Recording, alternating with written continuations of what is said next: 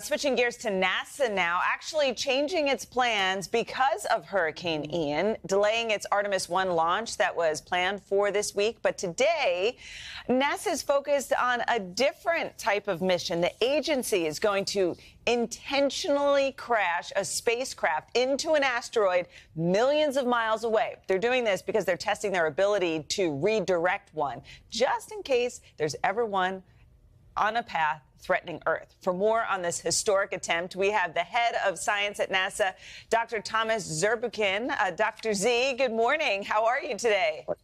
I'm doing great. How are you? I'm doing great. Um, you know, this is an experiment. It's one of its one of a kind. Uh, I just find this so fascinating as you try to knock this asteroid off course. First of all, uh, why do we need a method of defense like this? And is this safe, like in the grand scheme of things, to mess with space this way?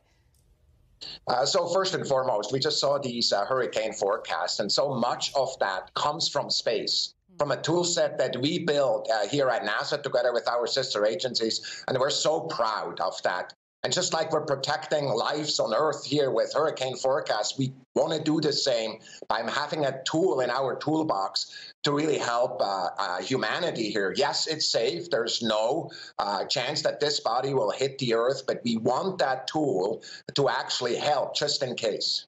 D Dr. Z, how will we know if if if this works? That's true. So you see this graph up there where you see a small body, uh, Dimorphos, uh, going around a bigger body. And the yeah. small body, if you just want to uh, scale, is about two and a half times the Empire State Building in, in scale. And it's going around it as we are hitting it head on with 15,000 miles per hour. Oh we will slow it down a little bit. And so kind of that time it takes for rotation will slow down by a minute up to three minutes and so forth. That's how we'll know. Wow, and I'm sure you'll keep us posted when yeah. you do it. While we have you, I also want to ask you about NASA's Artemis 1 flight. It was supposed to launch this week, and it's now being potentially rolled back a third time.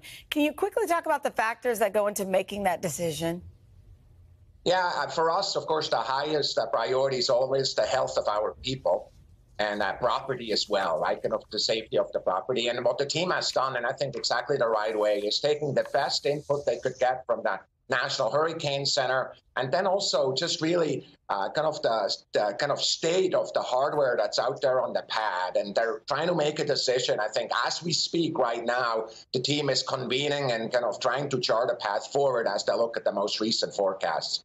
So when is the next window that we could see the launch happen?